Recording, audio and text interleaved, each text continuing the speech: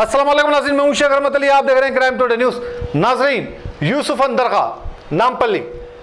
दो दिन से एक वीडियो वायरल हो रही है, जहाँ इस दरगाह में यहाँ के स्टाफ की जानब से, कुछ जिम्मेदारों की जानब से जन्मदिन मनाया गया है। बड़ी अफसोस की बात है, इसी दरगाह में मस्जिद है, इबादा, इबादत की जगह है ये, और यहाँ पर इस तरह का गलत काम किया गया है। अफसोस की बात है, वक्फ बोर्ड क्या कर रहा है?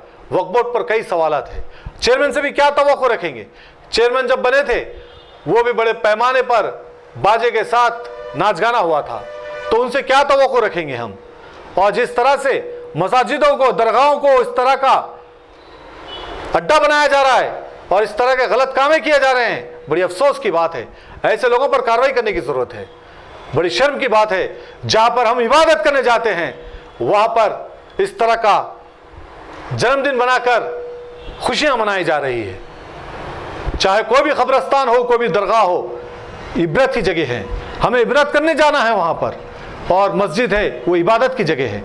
वहाँ पर ऊँची आवाज़ में बात नहीं कर सकते।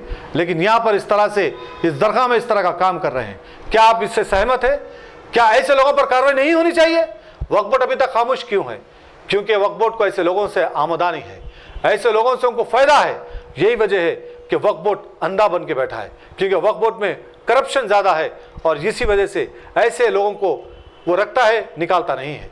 ज़रूरी है कि जो लोग इस तरह का काम कर रहे हैं, इस तरह के लोगों पर कार्रवाई हो, ताकि फिर कभी कोई इस तरह के दरगाहों को, मसाजिदों को, कब्रस्तानों को इस तरह का जन्मदिना बनाकर, खुशियाँ मनाकर सेलिब्रेट ना करें।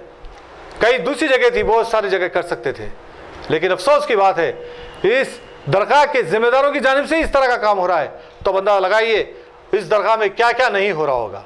ज़रूरी है कि इस पर कार्रवाई करें। देखते हैं इस पर।